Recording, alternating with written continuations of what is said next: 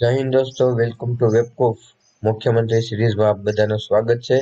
આપણે ચાર લેક્ચર આગળ કમ્પ્લીટ કરી ચૂક્યા છીએ અને આજે પાંચમો લેક્ચર સ્ટાર્ટ કરીશું. પાંચમો અને છેલ્લો લેક્ચર મુખ્યમંત્રી સિરીઝનો આજે આપણી સિરીઝ પૂરી થઈ જશે. જીપીએસસી વાળાનું ટાઈમ ટેબલ આવી ગયું છે. તમે જોયું હોય તો કોઈ જીપીએસસી વાળા હોય તો ન ખ્યાલ હોય તો અપડેટ લઈ લેજો અને જોઈ લેજો આખું શેડ્યુલ અને મે બી સાથે સાથે ગૌણ સેવાનું પણ એની જોડે આવી જ જશે, કેમ કે એક્ઝામ સ્ટાર્ટ થઈ જશે તો પણ પછી તો ગુણ સેવા વાળાના પણ ચાલુ થઈ જ જશે. તો મહેનત કરતા રહેવું ઇન મારો કહેવાનો મિનિંગ એ છે. આજે આપણે નરેન્દ્રભાઈ મોદી, આનંદીબેન પટેલ અને વિજયભાઈ રૂપાણી, આ ત્રણ મુખ્યમંત્રી જે જોવાના બાકી છે, ત્યાંથી સ્ટાર્ટ કરશું. સૌથી મોટો કાર્યકાળ બે હજાર એક થી બે હજાર ચૌદ સુધી નરેન્દ્રભાઈ મોદી, બરાબર છે? તો સ્ટાર્ટ કરીએ આજે નરેન્દ્ર મોદીજી. આની તો બધાને ખ્યાલ જ હશે, પૂરું નામ પણ દેવાની જરૂર નથી મારે. કાર્યકાળ બે હજાર એક થી બે હજાર બે બે હજાર બેથી બે હજાર સાત, બે હજાર સાતથી બે હજાર બાર અને બે હજાર બારથી બે હજાર ને ચૌદ. સૌથી મોટા મોટો કાર્યકાળ ગણવામાં આવે છે. જન્મ, વડનગર, મહેસાણા ખાતે. બેઝિક ડિટેલ તો તમને પણ દેવાની જરૂર નથી.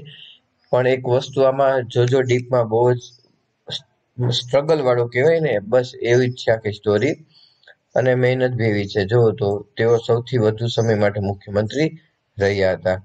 તે દામોદરદાસ મૂલચંદ મોદી અને તેમના પત્ની હીરાબેન મોદીના છ સંતાન પૈકી ત્રીજું સંતાન છે. તેમનું હુલામણું નામ એન્ડી હતું. તે બાળપણથી જ રાષ્ટ્રીય સ્વયંસેવક સંઘના સભ્ય હતા. તેઓ ધાર્મિક હતા. તેઓ સત્તર વર્ષની વયે ગૃહ ત્યાગ કર્યો હતો. તે હિમાલયમાં તેમજ રામકૃષ્ણ પરમહંસના બેલુર મઠમાં ચૂક્યા છે. ઇન્દિરા ગાંધી લાદેલી કટોકટી વખતે તેઓ ભૂગર્ભમાં જતા રહ્યા હતા. આ કટોકટી વખતે જ તેમણે સંઘર્ષમાં ગુજરાત નામનું પુસ્તક લખ્યું હતું. જ્યાં બેઝિક ડિટેલ છે, આ પૂછાય નહીં, પણ આ તમને ખ્યાલ બી નહીં હોય અમુક લોકોને, તો ઘણાઈને નહીં ખબર હોય, બરાબર? તો સાથે સાથે એ પણ જોઈ લે અને તમને ખબર પડે કે ભાઈ કાર્યકાળ મોટો છે, પણ સામું બેકગ્રાઉન્ડ એ કેવડું મોટું છે, જોઈ લો. ભાઈ સંઘર્ષમાં ગુજરાત કોનું પુસ્તક છે? તો કે નરેન્દ્ર મોદીનું ક્યારે લખ્યું છે? તો કટોકટી વખતે લખેલું છે. તેમણે કિશોરાવસ્થાથી રાજકારણમાં રસ હતો. તેમણે ગુજરાત યુનિવર્સિટીમાંથી રાજકીય વિજ્ઞાનમાં અનુસ્નાતકની પદવી પ્રાપ્ત કરી હતી. ઓગણીસો અઠ્ઠાણુંમાં ભારતીય જનતા પાર્ટીના નેતા લાલકૃષ્ણ અડવાણીએ ગુજરાત અને હિમાચલ પ્રદેશની ચૂંટણીમાં પ્રચાર માટે તેમની પસંદગી કરી હતી. કેશુભાઈ પટેલે રાજીનામું આપતા દિવસ આઠ ઓક્ટોબર બે હજાર એકના રોજ મુખ્યમંત્રી બન્યા હતા. ત્યારબાદ રાજકોટ પશ્ચિમની બેઠક પરથી ચૂંટણી લડીને ગુજરાત વિધાનસભાના સભ્ય બન્યા હતા. બે હજાર બે માં અગિયાર વિધાનસભા ચૂંટણીમાં ભાજપને એકસો માંથી એકસો સત્યાવીસ બેઠક મળતા સતત બીજી વાર મુખ્યમંત્રી પદે આવ્યા હતા. બે હજાર સાતથી બારમી વિધાનસભામાં ભાજપને એકસો માંથી એકસો સત્યાવીસ બેઠકો મળતા સતત ત્રીજી વાર મુખ્યમંત્રી બન્યા હતા. અહીંયા લગભગ મિસ્ટેક છે, લખવાની એકસો સત્તર બેઠકો આવે છે. તો હું જોઈ લઈશ અને કંઈક ચેન્જીસ હશે તો કોમેન્ટ પિન કરીને રાખી લઈશ. તો સાથે જોઈ લેજો કોમેન્ટમાં અહીંયા મે બી એકસો સત્તર આવે છે. બરાબર? પછી આગળ જોઈએ. ઇમેજ તમારે બતાવવાની પણ જરૂર નથી, બરાબર? બે હજાર બારમાં તેરમી વિધાનસભામાં ભાજપને એકસો માંથી એકસો પંદર બેઠકો મળતા તેઓ સતત ચોથી વાર મુખ્યમંત્રી બન્યા હતા. બે હજાર સાતમાં તેમના દ્વારા તાપી જિલ્લાની રચના થઈ અને બે હજાર તેરમાં છોટાઉદેપુર, અરવલ્લી, મહીસાગર, મોરબી, બોટાદ, ગીર સોમનાથ અને દેવભૂમિ દ્વારકા એમ સાત જિલ્લાની રચના કરતા કુલ ગુજરાતની જિલ્લાઓની સંખ્યા તેત્રીસ થઈ. બરાબર? જિલ્લાના નામ યાદ રાખજો. કોણે કયા સાલમાં કયા મુખ્યમંત્રીએ કરેલા છે? એ. તેઓ છેલ્લી ત્રણ વખતથી અમદાવાદના મણિનગર બેઠક પરથી ચૂંટાયા હતા. ભારતના વડાપ્રધાન પદ માટે ચૂંટાતા તેઓ બાવીસ મે બે હજાર ચૌદના રોજ મુખ્યમંત્રી પદેથી રાજીનામું આપ્યું હતું. બે હજાર બેમાં ગુજરાત સરકાર દ્વારા મહિલા અને બાળ વિકાસ વિભાગ શરૂ કરવામાં આવ્યો હતો. આ યાદ રાખજો, એમાં ઘણા બધા અત્યારે યોજનાઓ અને બધું ચાલુ છે. તો એ મંત્રાલય કોના દ્વારા ચાલુ થયો હતો? તો કે નરેન્દ્રભાઈ મોદી દ્વારા.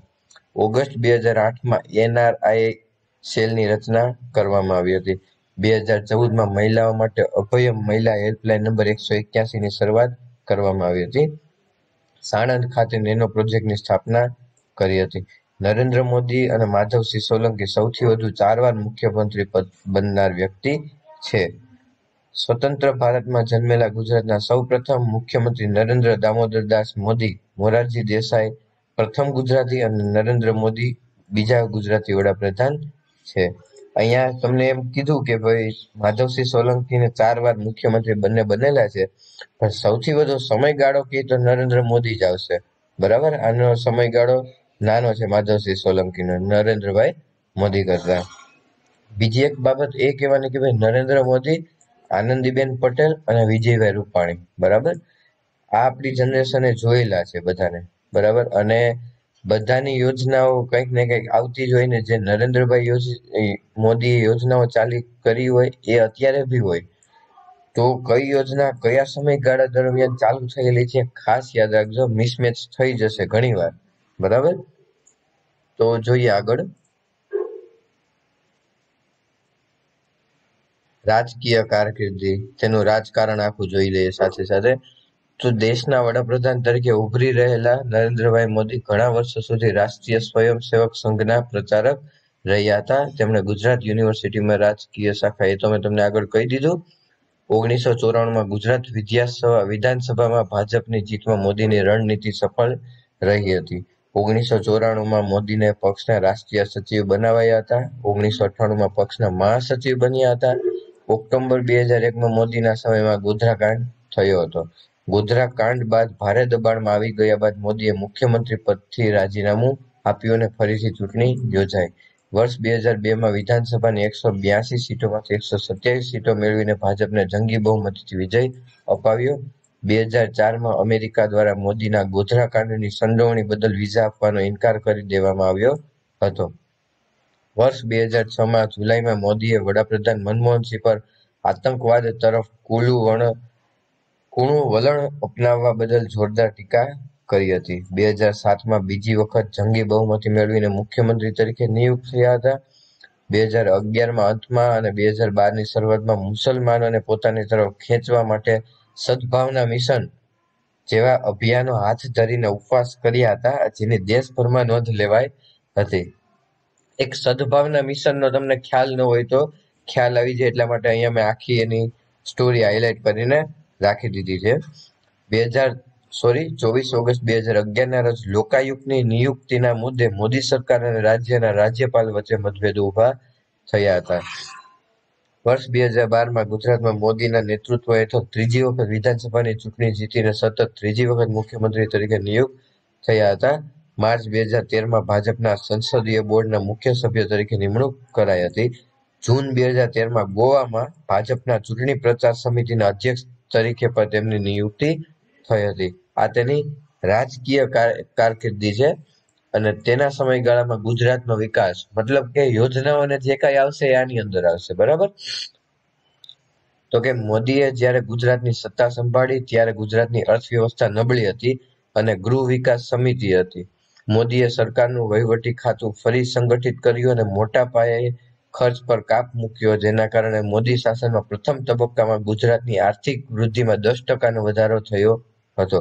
આટલા શાસનકાળમાં પહેલીવાર આર્થિક રીતે આટલો વધારો જોવા મળ્યો હતો. આ વધારો ભારતના અન્ય કોઈ પણ રાજ્ય કરતા વધારે હતો. મુખ્યમંત્રી તરીકે મોદીએ ગુજરાતનો વિકાસ વિવિધ યોજનાઓ દ્વારા અમલમાં મૂક્યો હતો, જેમાં પંચામૃત યોજના યાદ રાખજો ખાસ. પંચામૃત યોજના રાજ્યમાં સંકલિત વિકાસ માટે પાંચ પાખિયાવાળી વ્યૂહરચના, સુજલામ સુફલામ જળ સંરક્ષણ અને તેના ઉચિત વપરાશ તરફી એક નવીન પગલામાં ગુજરાતમાં જળ સંશોધનમાં એક ગ્રીડ રચના યોજવામાં આવી હતી. યોજનાઓ યાદ રાખજો, કયા મુખ્યમંત્રીએ કઈ યોજના કરી છે? અહીંયા લખ્યું છે, મારે તો જો વાંચી જ જવાનું છે. બરાબર? યાદ તમારે રાખવાનું છે. તો આ યોજનાઓ બધી યાદ રાખજો, કઈ યોજના શેની અંદર આવે છે? કૃષિ મહોત્સવ, જમીન માટેની કૃષિ વિષયક સંશોધન પ્રયોગશાળા. ચિરંજીવી યોજના શિશુ મૃત્યુ દર ઘટાડવા માટે માતૃવંદના યોજના, પ્રજનન અને બાળ આરોગ્ય કાર્યક્રમ અંતર્ગત પ્રતિબંધક અને ઉપચારાત્મક સેવા ઉપલબ્ધ કરાવે છે. બેટી બચાવો, જ્યોતિર્ગ્રામ યોજના, પ્રત્યેક ગામના વિદ્યુતીકરણ માટે કર્મયોગી અભિયાન, સરકારી કર્મચારીઓને શિક્ષણ અને તાલીમ આપવા માટે કન્યા કેળવણી યોજના, કન્યાઓના શિક્ષણને પ્રોત્સાહન આપવા માટે અને બાળભોગ યોજના વિદ્યાર્થીઓ માટેની મધ્યાહન ભોજના, મધ્યાહન ભોજન માટે. તો ખાસ મિત્રો, કઈ યોજના કયા કાળમાં થઈ ને એ યાદ રાખજો. એ બહુ જ જરૂરી છે, યાદ રાખો. બરાબર? આ થયું નરેન્દ્રભાઈ મોદી. બહુ લાંબુ સફર છે, પણ યાદ રહી જશે, વાંધો નહીં આવે. કેમ કે બધા તમે જાણીતા જ છો એનાથી એટલા માટે. પછી છે આનંદીબેન પટેલ. કાર્યકાળ બે હજાર ચૌદથી બે હજાર સોળ. જન્મસ્થળ ખરોદ, વિજાપુર, મહેસાણા. આનંદીબેન જેઠાભાઈ પટેલ. બરાબર? છે, નાનો સમયગાળો, પણ યોજનાઓના નામ પણ ઘણા આવે છે અને મહિલાઓ પ્રતિ યોજનાઓમાં વધારે બનાવવામાં આવી છે. જોઈએ આપણે.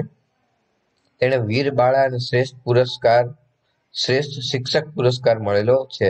તેમની વીરતા જોઈને ભારતીય જનતા પાર્ટીના ટોચના નેતાએ તેમને પક્ષમાં જોડાવાનું સૂચન કર્યું હતું. આનંદીબેન પટેલ ઓગણીસો સત્યાસીમાં ગુજરાત પ્રદેશ મહિલા મોરચાના પ્રમુખ તરીકે જોડાયા હતા. ઓગણીસો ચોપનમાં રાજ્યસભાના સાંસદ તરીકે ચૂંટાયા હતા અને સફળ અમદાવાદ જિલ્લાની ચાર બેઠકો પર ધારાસભ્ય તરીકે ચૂંટાયા અને કેશુભાઈ પટેલની સરકારમાં શિક્ષણ મંત્રી થયા હતા. બે હજાર બે માં પાટણ બેઠક પરથી ધારાસભ્ય તરીકે ચૂંટાયા બાદ નરેન્દ્ર મોદીની સરકાર શિક્ષણ મંત્રી બન્યા હતા. ફરીથી ચૂંટાઈને માર્ગ અને મકાન વિભાગના મંત્રી પણ બન્યા હતા. પણ કયા મુખ્યમંત્રીના સમયગાળામાં કયા મંત્રાલય સંભાળે છે એ યાદ રાખવું જરૂરી નથી. બરાબર? ઓવરલોડ નહીં કરતા. એ ન પૂછાય કે આ મુખ્યમંત્રીના સમયગાળા દરમિયાન આ વ્યક્તિ કયા મંત્રાલય દ્વારા સંભાળવામાં આવેલું હતું. બરાબર? એ વસ્તુ બિનજરૂરી છે. બે હજાર ચૌદ ના બેઠક પરથી ધારાસભ્ય તરીકે ચૂંટાયા અને રાજ્યના મહેસૂલ મંત્રી બન્યા હતા. બે હજાર ચૌદમાં લોકસભાની ચૂંટણી બાદ નરેન્દ્ર મોદી વડાપ્રધાન બન્યા. બાદ આનંદીબેન પટેલે ગુજરાતના મુખ્યમંત્રી તરીકે જવાબદારી સ્વીકારી અને ગતિશીલ ગુજરાત કાર્યક્રમ અમલમાં મૂક્યો હતો. તેમણે ગુજરાત ખાનગી યુનિવર્સિટી વિધેયક બે હજાર સોળ તરીકે મંજૂરી આપી હતી.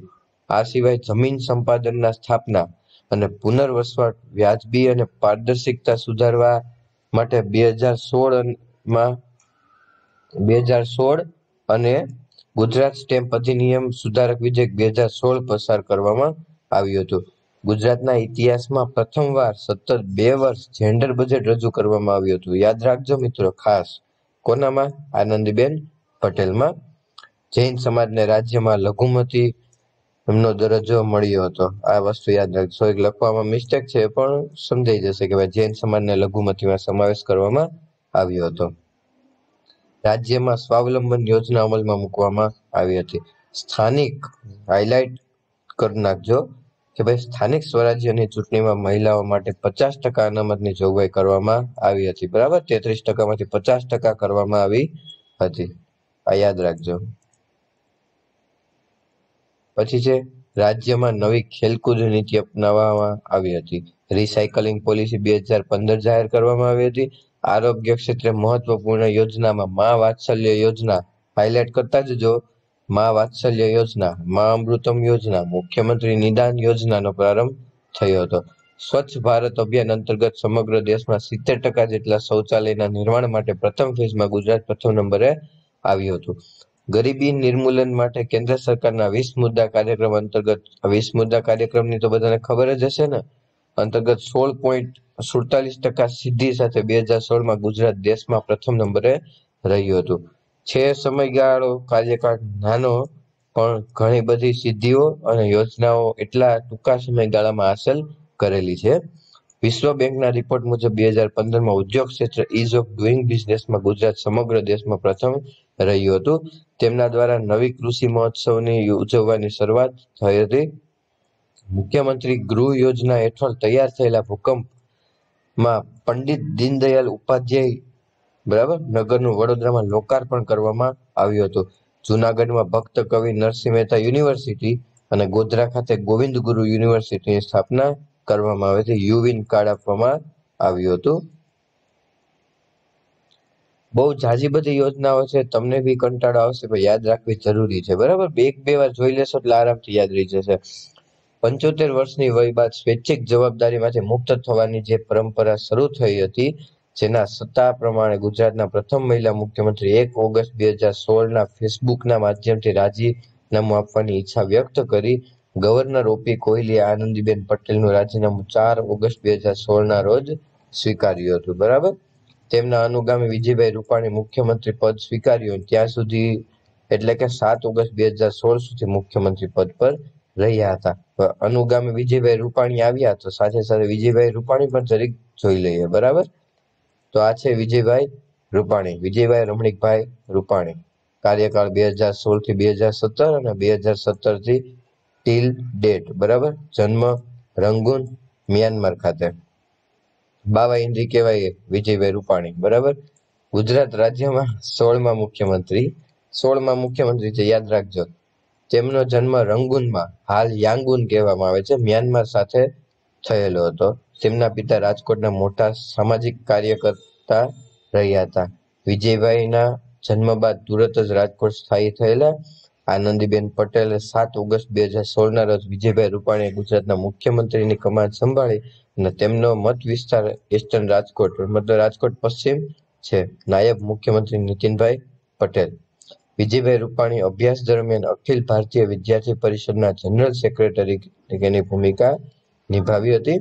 આ સિવાય નવનિર્માણ આંદોલન અને જયપ્રકાશ નારાયણ દ્વારા પ્રેરિત છાત્ર સંઘર્ષ સમિતિમાં પણ મહત્વની ભૂમિકા બજાવી હતી.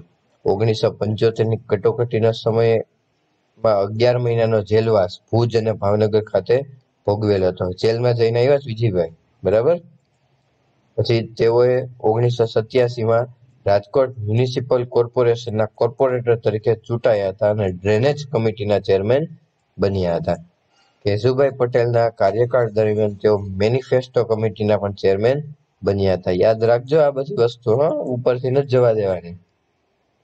બે હજાર ચૌદમાં વિજય વજુભાઈ વાળાને નિમણૂક કર્ણાટકના રાજ્યપાલ તરીકે કરતા રાજકોટની ખાલી પડી બેઠક પર અહીં ધારાસભ્ય તરીકે ચૂંટાયા હતા. કોણ? વિજયભાઈ રૂપાણી. પછી નવેમ્બર બે હજાર ચૌદમાં આનંદીબેન પટેલના કાર્યકાળમાં છે. તેઓ વાહન વ્યવહાર, પાણી પુરવઠાને કેબિનેટ કક્ષાના મંત્રીની જવાબદારી સોંપી હતી. ફેબ્રુઆરી બે હજાર સોળથી ઓગસ્ટ બે હજાર સોળમાં ભાજપના રાજ્યના પ્રમુખ રહ્યા હતા. ત્યારબાદ આનંદીબેન પટેલના અનુગામી બન્યા હતા અને ગુજરાતના મુખ્યમંત્રી બન્યા હતા. બે હજાર સત્તરમાં ચૂંટણીમાં ભાજપનો વિજય રથ વિજયભાઈ રૂપાણીએ સંભાળ્યો અને બીજી વાર મુખ્યમંત્રી બન્યા હતા. શરૂ કરાવેલી યોજનાઓ અને જે કઈ સુધારાઓ કરેલા છે એ બધી યોજના અહીંયા લિસ્ટ કર્યું છે. જ્ઞાનકુંજ યોજના, Shravan Tirth Darshan Yojana, Gujarat self finance school regulation act two thousand seventeen, self finance medical કોલેજમાં વિદ્યાર્થીઓને સંપૂર્ણ ફી માફી કન્યા કેળવણી નિધિ મારફતે શિક્ષણ સહાય યોજના, મુખ્યમંત્રી સ્વાવલંબન યોજના, મુખ્યમંત્રી શિષ્યવૃત્તિ યોજના, છાત્રાઓને ટેબ્લેટ, અન્નપૂર્ણા યોજના અને સૂર્ય શક્તિ કિસાન યોજના. આ બે હજાર સત્તર સુધીનો બધો ડેટા છે. અત્યારનો હાલનો ડેટા છે બે હજાર ઓગણીસ અને બે હજાર વીસનો જે છે ને યોજનાઓનો, એ બાકી છે. કેમ કે તમે આ બધી યોજનાઓ કરશો ને તો તમે કરંટની નહીં યાદ રાખો. અને એ યોજનાઓ બીજી જે એટીડીઓ ને લગતી જે કઈ યોજનાઓ છે, આપણે એનો અલગથી એક યોજનાઓ માટેનો છે ને, એક આખો લેક્ચર બનાવશું જેમાં આઈએમપી યોજના બધી અને તેની અંદર, એની અંદર શું શું કરવામાં આવે છે ને, યોજનાની અંદર સંપૂર્ણ ડિટેલથી આપણે એક લેક્ચર બનાવો છે. એટલે બે હજાર ઓગણીસ અને વીસ એની જે કઈ યોજનાઓ છે ને એ અહીંયા અમે લીધેલી નથી. બરાબર? તો મિત્રો થઈ આ મુખ્યમંત્રીની સિરીઝ અહીંયા આપણી સિરીઝ કમ્પ્લીટ થાય છે. તો આશા રાખું છું કે બધાને ગમી હશે. બધા જે કઈ રિવ્યુ હોય કોમેન્ટ સેક્શનમાં આપી દેજો. એક થી પાંચ લેક્ચર છે જોવાના બાકી હોય તો જોઈ લેજો અને તમારા ગ્રુપમાં શેર કરી લેજો. હવે આપણે જે સાહિત્યની સિરીઝ છે એ કમ્પ્લીટ કરાવી દઈશું. થોડાક ટાઈમમાં એટલે બે સિરીઝ આપણે કમ્પ્લીટ થઈ જશે. ઓકે થેન્ક યુ આભાર. જય હિન્દ.